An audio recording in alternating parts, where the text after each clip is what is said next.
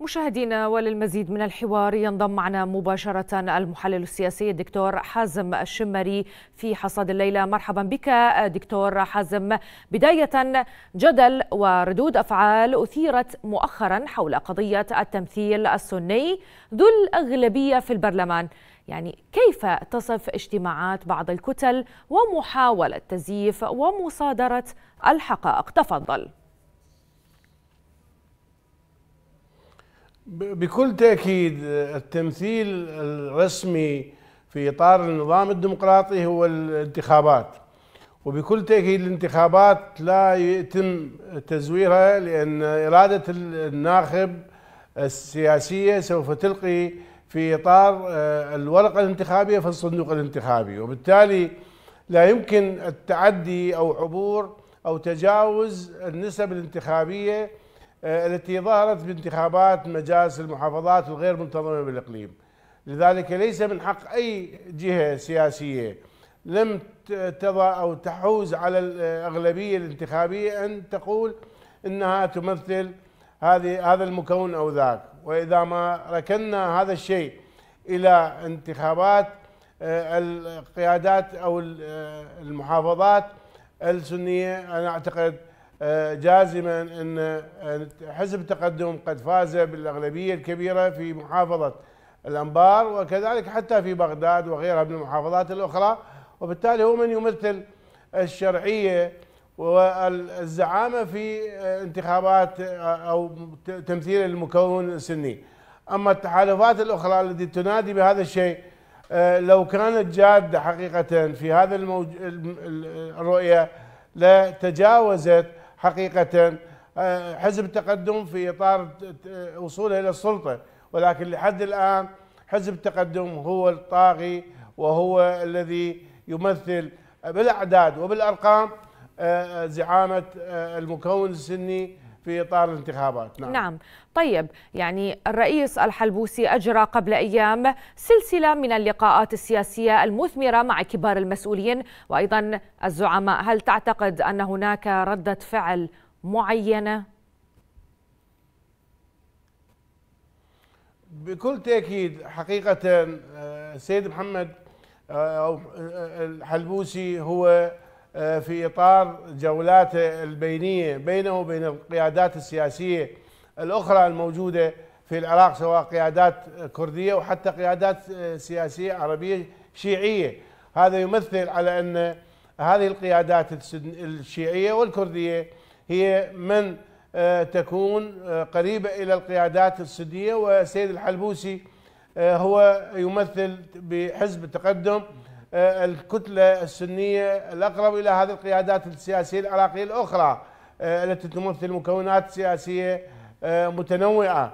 لذلك أنا أعتقد هذا التلاقي هو يمثل الأغلبية في إطار العددية الانتخابية ويمثل المشاريع السياسية القادمة في المحافظات العراقية التي انتخبت في مجالس المحافظات غير المنتظمة بإقليم نعم.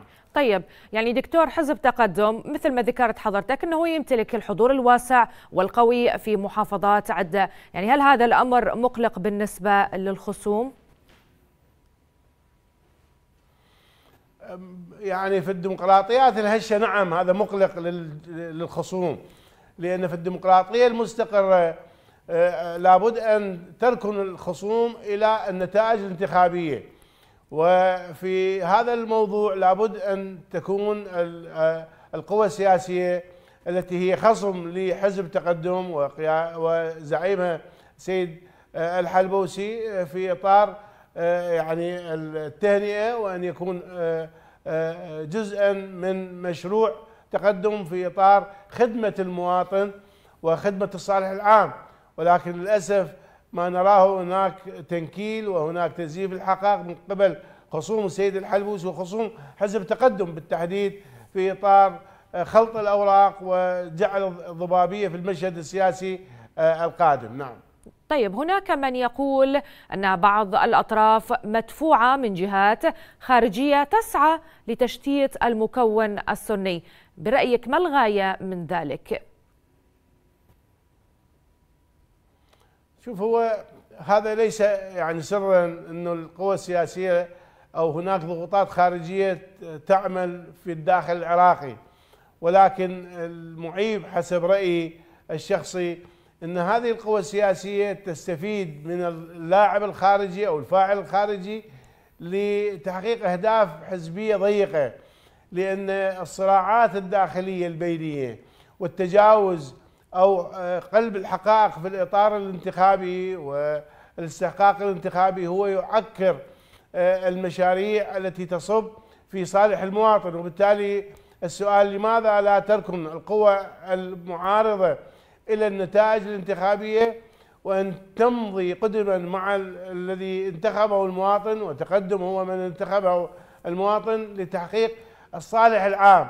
وبالتالي هناك سنوات أربعة قادمة من الممكن أن تستفيد في إطار اللعبة الانتخابية وإن كانت جادة في إقناع المواطن باحقيه مشروعها سوف ينتخب المواطن وإلا سوف تكون تقدم آه، بزعيمها الحلبوسي هي الموجودة في الساحة السياسية. وهذا هو ديدن الديمقراطية في الاستحقاقات الانتخابية. نعم.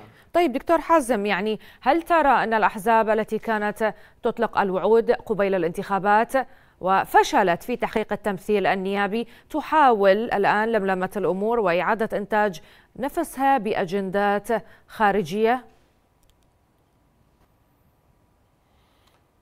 هذا موجود حقيقة. نعم ما تكلمت به هو موجود ومؤشر. وملموس في آه، لدى المراقب السياسي ولكن هذا يعني حقيقة يضعف آه، هذه القوى ولا يعمل على أن تكون جزء من المشهد السياسي لأنها تتلاعب في إطار الاستحقاقات الانتخابية وتتلاعب في البرامج السياسية. وأظن همها الرئيسي هو أن تكون قريبة من مركز القرار السياسي ليس همها هو المواطن.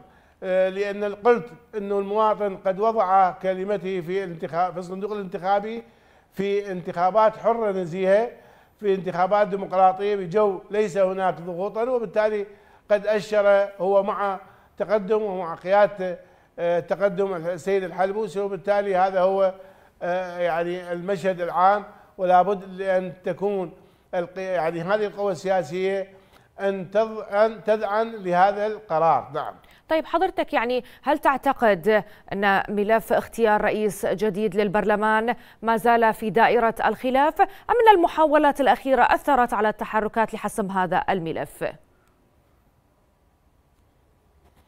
لا أنا أظن أنه ما زال التقدم ما زالت آه، يعني كتلة تقدم حزب تقدم آه، هي الماسكة بعصب رئاسة البرلمان والدال لهذا الشيء أن السيد الحلبوسي موجود مع آه، السيد رئيس الحكومة ومع القيادات الرئيسة في آه، إطار التنسيقي وكذلك مع حزب البارتي في إقليم كردستان. وبالتالي هو من يمتلك حقيقة حسب الأصوات وحسب العددية. الانتخابية أنا أعتقد هو اللي يملك آه الذي يعني حق أو قرار أو حسم من سوف يكون في رئاسة البرلمان. نعم.